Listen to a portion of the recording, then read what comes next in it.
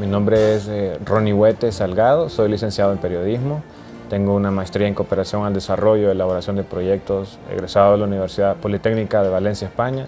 Actualmente estudio la licenciatura en sociología como segunda carrera y agradezco mucho a, la UTV para, por haberme invitado a, a este programa. Los libros y la vida sean bienvenidos y bienvenidas. Bien, en este caso yo voy a compartir un poco un libro que me impactó mucho, ya que siempre me ha llamado la atención la vida de ese llamado mal primer mundo en Europa y Estados Unidos, ¿no? La vida de la supremacía blanca.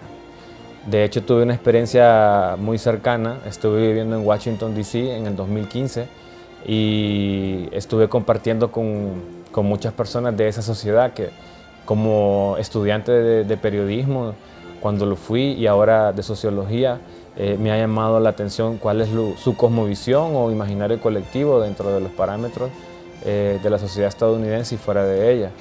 Me di cuenta de que no saben absolutamente nada de lo que ocurre fuera de su burbuja, vamos, imperialista. Y bueno, hay un señor que vino a Honduras en la década de los 60, exactamente en 1962. Su nombre es James Francis Kearney, más conocido como el padre Guadalupe Carney. Él hizo una autobiografía que se llama Solo díganme Lupe. Y él era el típico estadounidense, blanco, clase media alta, que sus padres eran católicos, tuvo una muy buena educación, eh, estudiaba ingeniería civil en una prestigiosa universidad de Estados Unidos y era una persona muy activa. Él describe a la sociedad blanca estadounidense como una sociedad muy trabajadora, ya que desde niño a ellos eh, les inculcan las manualidades, el trabajo duro, porque es parte del engranaje en la construcción del sistema capitalista que vivimos actualmente, para cuando ellos sean adultos, explica en su libro él, sean personas eh, obedientes, sumisas, personas que estén dispuestas a trabajar largas jornadas de trabajo por un salario mínimo y que no haya ningún tipo de cambio.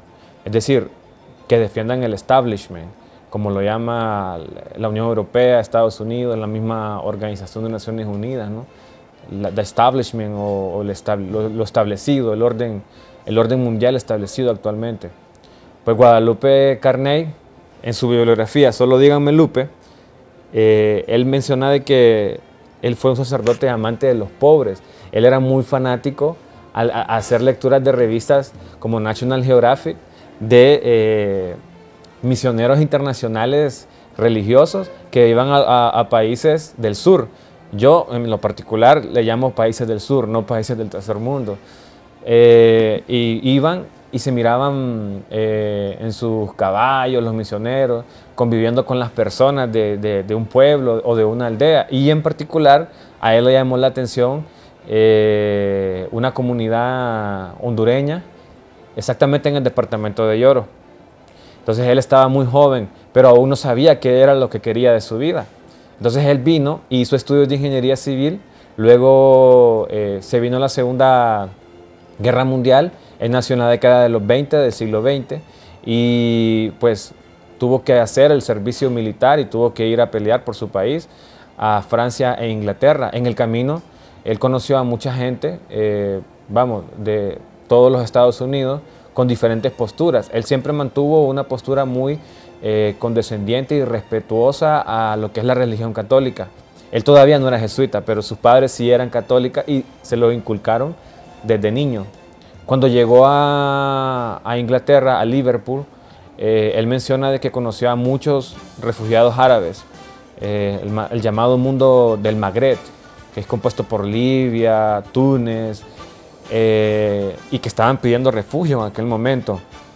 Y miró de cómo los franceses se tiraban al suelo a recoger lo que sobraba de la comida de los eh, soldados estadounidenses que estaban peleando eh, en esa Segunda Guerra Mundial. él nunca en su vida se imaginó que existía un mundo lleno de tanta miseria y desigualdad. y de tanta inhumanidad y crueldad. Y él comenzó a generar conciencia en su ser y empezó a cuestionar la existencia de Dios. Si Dios existe, ¿por qué permite esto? Se preguntaba. Y él empezó a, contradecir todo lo que sus padres le enseñaron desde pequeño, que fue eh, que Dios era un Dios de amor. Entonces él decía, ¿será que soy la única persona que ve esto? Él pensaba de que todos pensaban como él y que tenían miedo de pecar, porque si pecaban iban a ir al infierno y también irrespetaban a Dios. Él pensaba que todos eran así, pero cuando miró que los soldados comenzaban a tener relaciones extramaritales con las mujeres que encontraban en el camino en la guerra, entonces él decía, esto no puede pasar, ¿qué está sucediendo? Porque claro, se, está rompiendo la cosmovisión de la, sociedad blanca, clase media alta de Estados Unidos. Luego de ello, él comenzó a, ser más cuestionable y a preguntarse por qué Dios permitía tanta desigualdad en el mundo. Y ese mundo de la guerra, ese mundo tan sufrido que solo él estaba experimentando, él lo logró captar en su consciente y lo tatuó en su alma, a tal punto que lo tatuó y lo escribió en un libro. Imagínense, alguien educado bajo la supremacía blanca y bajo la estructura capitalista del imperialismo yanqui, escribiendo en contra de la guerra y escribiendo de las injusticias que esta causa por el beneficio de unos pocos llamados oligarquía mundial. Porque la guerra fue, según lo describe Guadalupe Carney, una guerra que defendía los intereses económicos de estas grandes oligarquías en el mundo entero. Y con esto pues voy a cerrar una parte de, de esta primera idea que quería transmitirles sobre Guadalupe Carney, porque en el siguiente episodio eh, vamos a hablar un poco de cómo él comenzó a interesarse por ser eh, jesuita.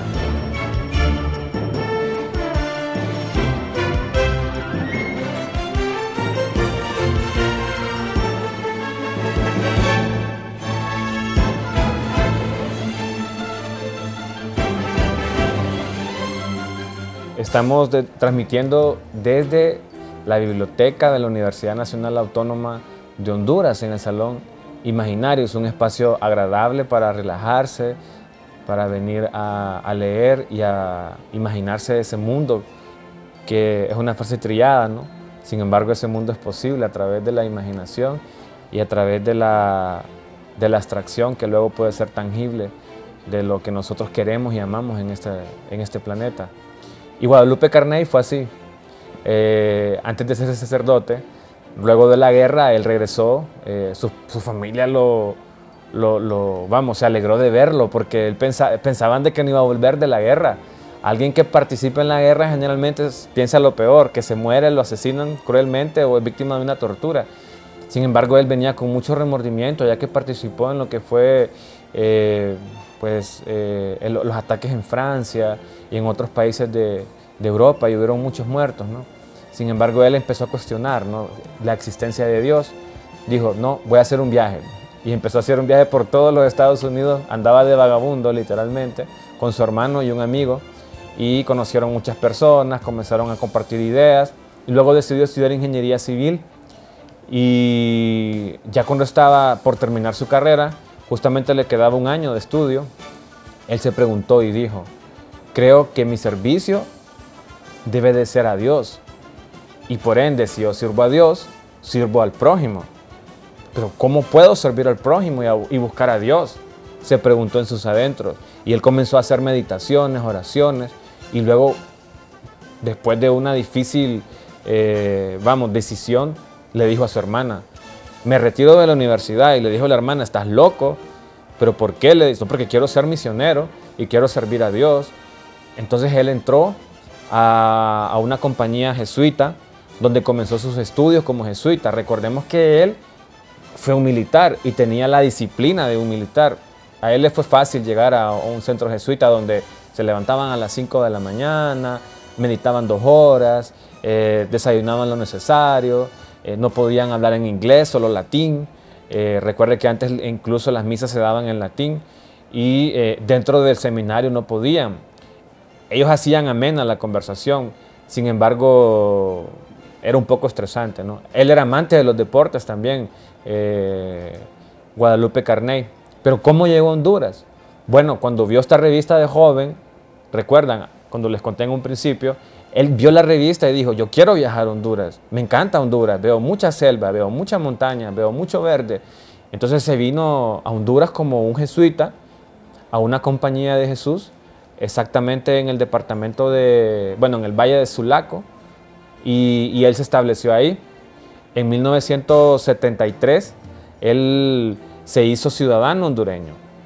De hecho, él rechazó la ciudadanía estadounidense y dijo que podíamos vivir con, lo necesario como seres humanos. No tenemos la necesidad de tener grandes cosas para ser felices. La felicidad es aquella cuando uno se despoja y se olvida de un mismo como ser y hace feliz a otros y a otras.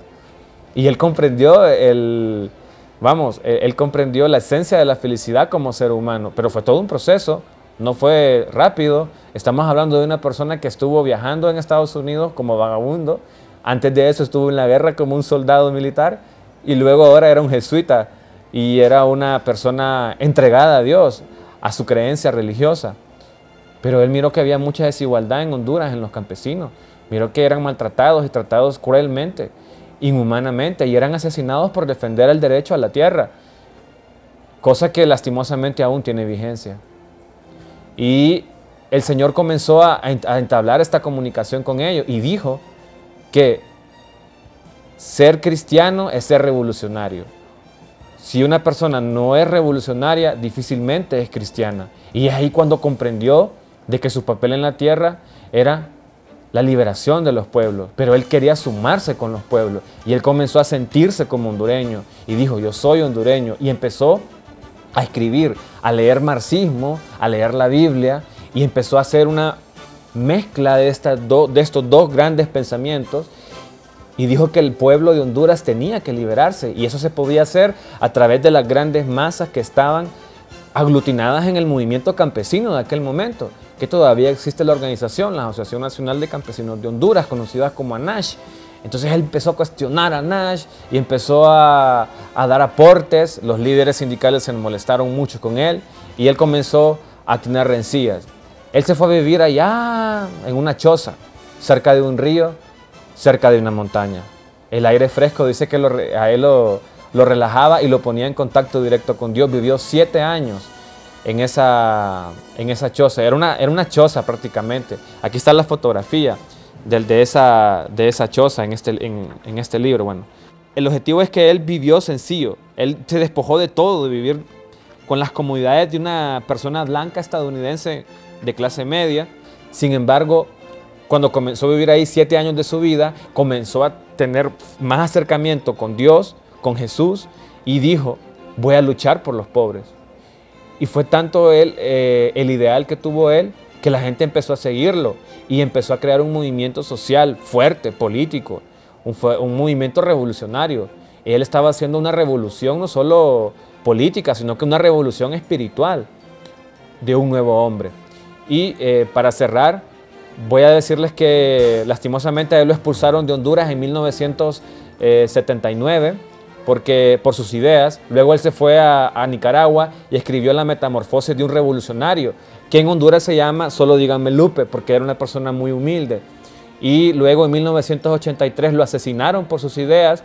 Eh, fue lanzado de un helicóptero. Eh, se supone que estaba vivo. Eh, hay muchas versiones, pero fue lanzado al mar, al vacío del mar, solo por predicar sus ideas. Pero déjenme compartirles que él fue una persona feliz y compartió la felicidad y se inmortalizó con sus ideas. Así como muchos han muerto recientemente, como Berta Cáceres, que fue asesinada por defender el medio ambiente el 2 de marzo del 2016. Y él es inmortal por sus ideas. Yo por eso les invito a que continúen inmortalizando las ideas del padre Guadalupe Carney a través de este libro y que lo compren ya sea en la librería de la Universidad Nacional Autónoma de Honduras o en las demás librerías aquí en Tegucigalpa o Comayagüela o la ciudad más cercana. Gracias por este espacio. Recuerden que Lupe, voy a repetir estas palabras que él decía, si se es cristiano se tiene que ser revolucionario, si no si no se es cristiano no se puede ser revolucionario. Y la felicidad La búsqueda de la felicidad está en haciendo felices a otros a través de la liberación, a través del rompimiento de lo establecido o del establishment, a través de la construcción de un imaginario colectivo que solo usted y yo podemos crear.